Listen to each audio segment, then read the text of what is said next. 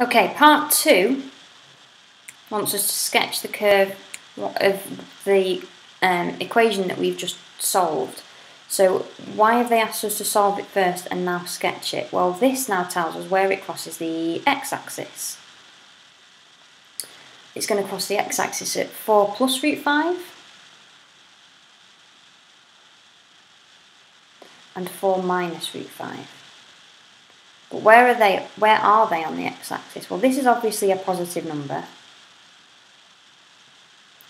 But what about 4 minus root 5? Is that a positive number or a negative number? Well, root 5 is 2 and a bit because it's between root 4 and root 9. So it's like 2.1 or 2.2, something like that. So 4 take away 2 point something is still going to be a positive number. So my quadratic is going to be on this side of the curve. It's also going to go through 11 on the x-axis, on the y-axis, sorry. So we are going to get this kind of curve. And we need to mark on that that is 4 minus root 5.